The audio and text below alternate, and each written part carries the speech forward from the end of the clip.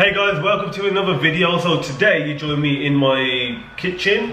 Uh, my treadmill's in the kitchen in front of the oven, but that's for another day, like I said in my last video actually.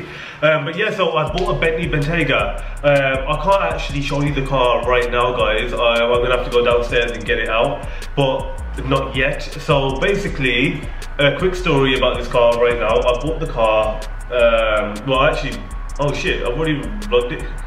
I forgot I've already vlogged buying the car. So okay, I bought a Bentley that I can't drive. That's the new title of the video. Um, I actually like forgot that I recorded it. I'm that like lost. I haven't been outside the house for two days, so I'm like just bare confused.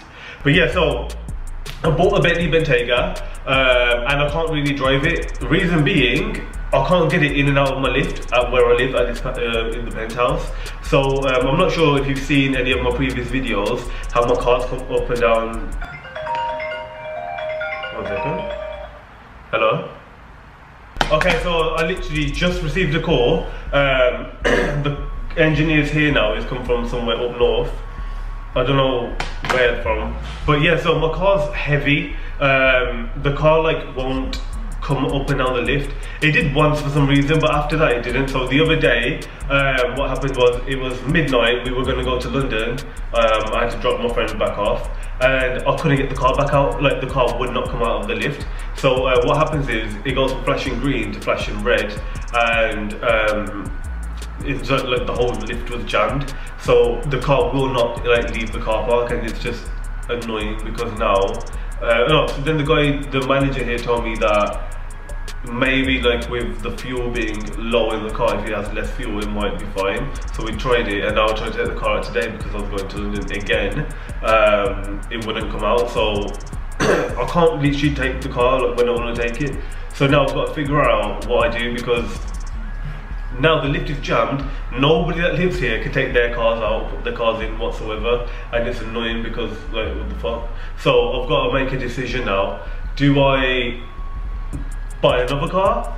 Do I move up somewhere else? Um, I don't know what to do now because I bought the obviously I bought the Bentley, but I can't drive the Bentley. Like, like I can park it next door to be honest in the car park, but I don't want to leave my car in the NCP car park because I've been there a few times where like people have smashed windows on cars and robbed them and I don't really want to be leaving a Bentley there. I have like, see, I've got other cars I can drive that way in the lift, but the Bentley was meant to be my daily car. Um, like I've made arrangements to like my brother can have this car, my dad can have this car to drive. Like so now, like the Bentley was there for me to drive as my daily, and the Lambo for whenever I want to have some fun. Um, but yeah, so now I've got a Bentley. I can't drive, but maybe in 10, in 10 15 minutes when the guy's downstairs, he'll fix it and my car can come out. But um, yeah, I've literally got all to do.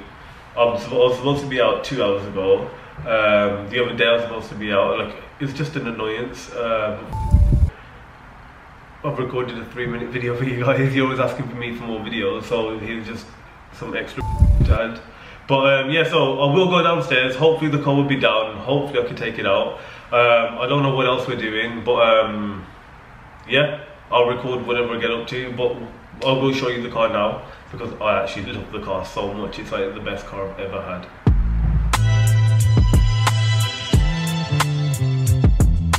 Okay, so here is the Bentley.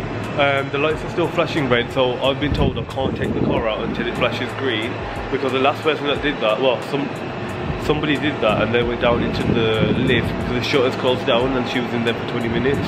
So I did not want to be downstairs stuck for 20, 30 minutes with a big drop. So that's the car. I can't actually go in yet, so I've been waiting for like literally four or five hours now. And yeah, I can't even show you the car, which is what the whole video is about. Imagine having all these cars here, and like you always have an issue. Like my Lambo, it's too wide to fit in this car park, and my Bentley is too heavy. So now this has been blocked for the next few hours, so I can't take my car out.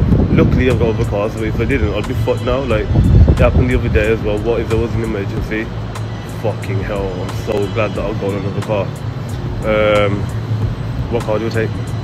Nope, the car's are not gonna come out Fuck sake. Guys, so we are actually in the car finally after all these hours and we can go.